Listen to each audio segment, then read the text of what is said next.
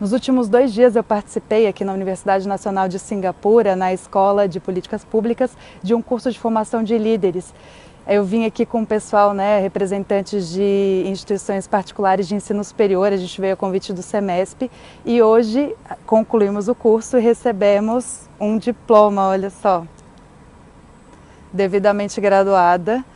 E é interessante porque eles valorizam muito as conquistas. É um ensino extremamente rigoroso, competitivo, mas eles sempre valorizam, né? Por exemplo, na formação de professores, quando os professores se graduam, às vezes inclusive o próprio ministro da educação comparece na cerimônia. E agora no final, o último professor que estava dando aula para gente participou, entregou o diploma para cada um de nós. Foi uma experiência bem interessante.